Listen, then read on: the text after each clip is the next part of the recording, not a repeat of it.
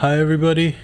My name is Nathan Goheen. Uh, thanks for joining me and uh, you know checking out this uh, this little bit of information that I want to kind of talk about and share. Um, so in the last video that I did, um, I introduced us to the uh, to the harmonic series, which is um, which is a constant in nature, and it affects how we hear sound. That's kind of what I'm most interested in right now. Um, and so, basically, quick review: um, if we play a note or we hear a sound, basically we hear the bass, the bass sound, which we call the fundamental, which is quote unquote the sound, and then on top of that is many other uh, you could call them like upper tones. I think that's my favorite phrase for describing them. That in the upper tones all are related to the fundamental. And it doesn't matter if the sound is very high up very low down or just in the middle the the sequence that these upper tones appear is constant. And so where am i going here? So basically how we determine whether a uh, person is singing or a piano is playing or a clarinet is playing a note um, these upper tones help us differentiate that. Not uh, the the volume that they're present and also um, how they uh, the um, the envelopes of them. If they come in quickly or if they come in gradually. If they leave quickly or if they leave gradually. Um, and so if someone's like wow she has a really beautiful voice um, part of the beauty in that voice is the is the presence of these upper tones that is unique to her. And she's probably spent time consciously or unconsciously working on how to f- filter these tones in and out. So, sorry, that was longer and a little bit uh, different than how I was thinking I would explain it, but I hope that makes sense. Um, so, we talked, I think we went through like the first eight of these, or the first eight tones, the fundamental, and then the next seven upper tones. So, what I've been working on a lot just um, out of pure interest myself is um, turning, let's say, one tone into one fundamental into just the fundamental, cutting out all of the other upper tones. So we just have a fundamental, and then I will myself add in the upper tones as I want to or as I see fit. So when we just literally have the fundamental with nothing else, it doesn't it occurs um, infrequently in, in nature, very infrequently. Um, one of the ways it occurs is whistling. Um, singing bowls are another pretty, pretty much they just have the fundamental. But what's super cool is that now living in the 21st century, we have access to this amazing technology, which they actually had access to their own technology back in the days. Um, but what it's really easy for me to just generate a single fundamental, no upper tones, just the single fundamental, um, and that's called a sine wave. Uh, you may be familiar with that term. So basically, here is a sine wave. And so nothing else is on it. Um, if we were to add the first upper tone, it would be an octave above, a doubling of frequencies, like I said in my other video. And the next upper tone is a fifth above that. And then we add another upper tone, a fourth above that. So we have fundamental, an octave above that, a fifth above that, and then a fourth above that. So, um, and then we can keep going. Have a uh, major third, a minor third, and another minor third, and then an octave. So, um, these are all they call them integers. Basically, you double the frequency of the of the fundamental, and then you double and then you triple the frequency. Here's the doubling, the octave, the tripling, the quadrupling. Uh, I think it's quin multiplying by five, quintupling, quintupling, multiplying by six, by seven, and by eight. So that gives us these beautiful numbers that are all completely related to each other. It's awesome. Um, one of the cool things about that is that there's um there's like a uh, there's an acoustic phenomena in our ears and how we perceive sound that if you play two different tones, two different pitches, you will hear. And, I, and right now I'm talking about the the sine waves. These are just pure fundamental tones, pure fundamental tones, no upper tones whatsoever. So if we play two pitches, our ears will perceive a third pitch it's absolutely amazing that this happens.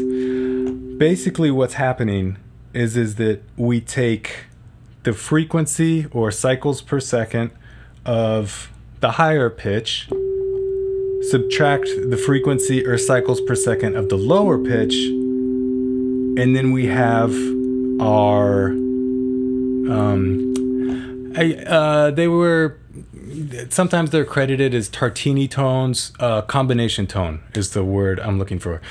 Um, because you combine two tones and get a third. Now they're they're obviously not as present as the two tones being um, played, but they are there, and our ears perceive them, and they help us determine um, pitch and key. Um, so let me think here. Um, so one of the cool things about the harmonic series is that because it is all based on a single fundamental, I'm gonna lower I'm gonna lower my fundamental from middle C down an octave. So because it's all based on a single fundamental, um, if you go through the harmonic series, like that, you can take out the root note or the fundamental, you can take out another one. You can take out another upper tone and you can take out another upper tone. And these in these two upper tones right here, we've got the uh, we've got the th the third upper tone or excuse me, it's the second upper tone and which is the uh, this is always a little bit dicey how people have been labeling these because you got the fundamental ah never mind. Um,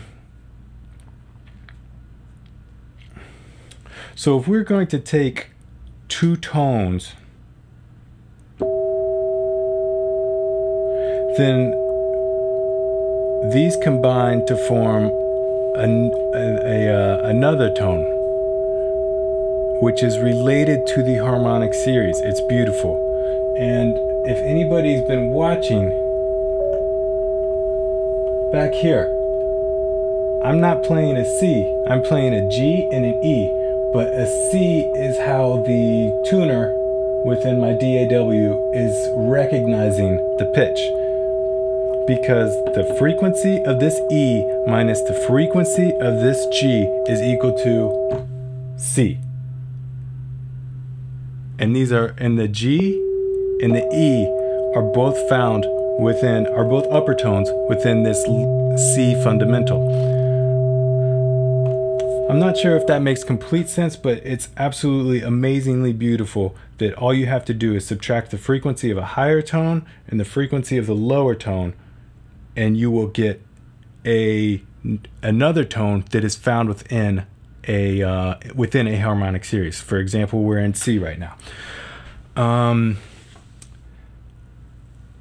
This gets a little bit dicier when we are in equal temperament. Right now, I've I didn't mention it before, but I got a surprise for you. I was I had tuned this keyboard to the harmonic series. So basically what that means is that instead of the 12 tone system that western music is based around, I tuned it to the the um, the harmonic series, which means that within within our uh, 12 tone series, we've sharpened some tones and we flattened some tones for the ability to play in 12 keys. And you know, playing in 12 keys is great. It's a marvelous thing, but the downside is is that our sense of pitch is a little bit distorted. For example, um, if I was to play, if I was to change the tuning on this instrument from the harmonic series to equal temperament, let me do that right quick, and play the same E and the same G, you may not be able to hear it, but check out the tuner. Oh, excuse me. The E and the G. It's still reading a C, but the needle is waving much more than when I was in the um, than when I was in the harmonic series tuning. Let's see that again. Steady, consistent. And so like I was trying to say, um, within equal temperament, we adjusted some notes.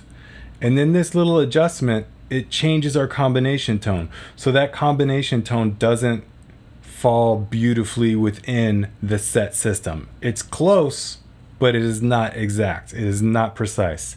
In the harmonic in the harmonic tuning, it is precise. In equal temperament, not precise. Uh, obviously, in the harmonic tuning, you're only tuning to one pitch, so you can only work within that pitch. Um, but it is something to experience uh, the how beautifully in tune a pitch can be.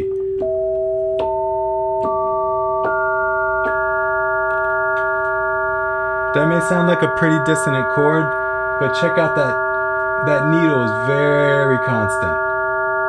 Very constant. Let me try it with the equal temperament, see what we get. It's a mess. It's an absolute mess.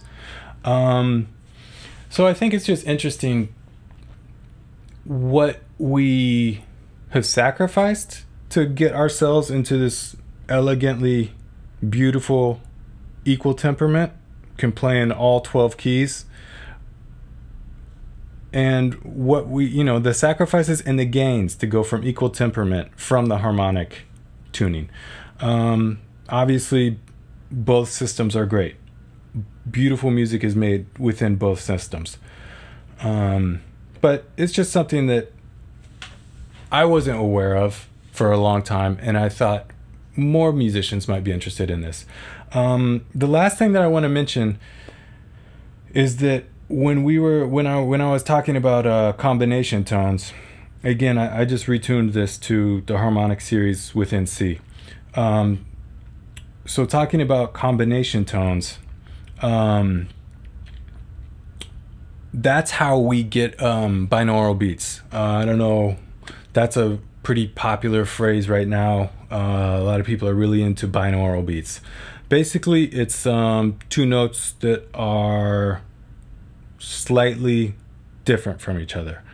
Um, so if you if you have a um, if you have a pitch that's vibrating at 500 cycles per second and another pitch that's vibrating at 510 cycles per second, like I was talking earlier, remember the combination tone formula 510 minus 500 is 10, 10 cycles per second. Now that's a lower pitch than we can hear. Our ears only go down to about 20 hertz or 20 cycles per second. But um, there's there's a lot of but that's an example of a binaural beat. Um, another you could do like uh, uh, I don't know. Uh, I think I think like between zero and maybe forty hertz or 40 cycles per second is considered binaural beats. So if you had 540 beats and you took a wave, or excuse me, if you had a frequency at 540 and another frequency at 500, then you would create a binaural, binaural beat at 40, uh, 40 uh, cycles per second, which you can hear. You can hear 40 cycles per second. Um, it's just fascinating to me that how this is all interrelated. Um, I guess basically the gist of what I'm trying to say is that within one single tone, a pure sine wave, this fundamental, we have information that gives us rhythm.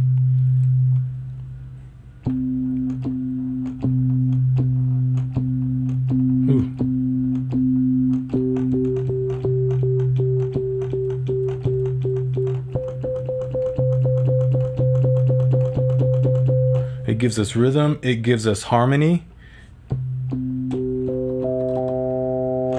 and it gives us a tuning system, um, all within one note. And, you know, like I said, in the, I think it was like late 16th century, uh, I think there's like two people credited with creating equal temperament. One was a Chinese man and one was a European. And they arrived at it very, uh, very close together, I think, without any correspondence between the two of them. But um, regardless, the equal temperament is just one way of many to hear music. And I think that if more people knew about basing music on the harmonic series, it could uh, it could open us up to lots of different things. I hope that wasn't too confusing. I know that I kind of jumped around a lot but if you have any questions or are have any statements or you know interested in um interested in more of this just let me know. Um i am also teaching lessons. If you want to if you want to know more information about that you can reach out me reach out to me through youtube through facebook through instagram. I've also got a website nathan goheen it's N A T H A N G O H E E N dot com. Uh, you can reach out to me through that. And I hope you liked what you saw, and I'll talk with you guys later. Thank you.